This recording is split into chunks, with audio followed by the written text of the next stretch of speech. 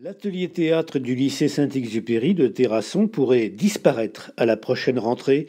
Depuis 19 ans, il est financé par l'éducation nationale et la DRAC. Donc on est inquiet pour l'année prochaine parce qu'on sait qu'on va encore perdre des subventions. La DRAC, par exemple, qui subventionnait, ne donnera plus rien. L'année prochaine, ce sera zéro. Donc euh, si on veut que on continue à fonctionner, il va falloir trouver d'autres sources de financement.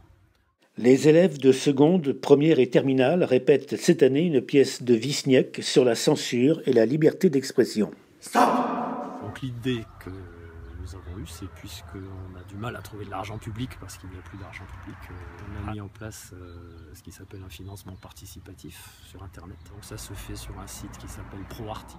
Notre nouvelle conception humaniste telle qu'elle nous a été enseignée par le grand Lénine et le grand Staline. 3000 euh, euros, c'est euh, une partie de ce que nous coûtent les interventions de, Fabien Bassot chaque année.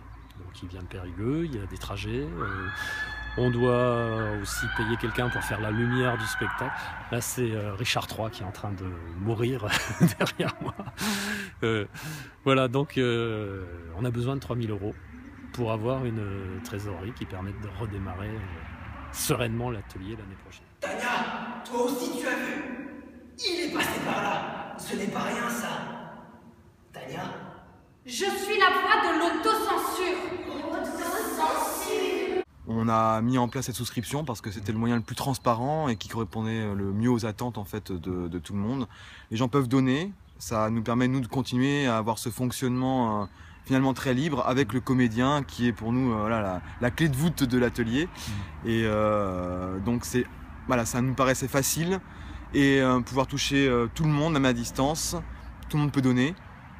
Et puis bah nous, ça nous permet surtout de trouver réellement des fonds pour pouvoir subsister et avoir un peu de, un peu d'avenir, un peu de perspective. Ma tête, c'est quand même un espace privé. Mais non, c'est d'autant plus intéressant de financer un projet par ce type de site que c'est déductible des impôts. Donc euh, il y a 66% de déduction fiscale. Et s'il y a plus que 3000, tant mieux. Alors on demande 3000, si on reçoit plus de 3000, tant mieux. Euh, si on ne reçoit pas 3000, alors là ça va très mal parce que si on n'arrive pas aux 3000, que le projet s'écroule, c'est-à-dire on reçoit zéro. les gens qui ont fait des dons euh, récupèrent leurs dons.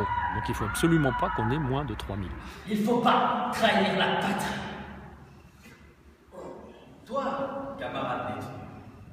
Tu es allé à l'université et on t'a foutu en tôle à cause de ton cachet.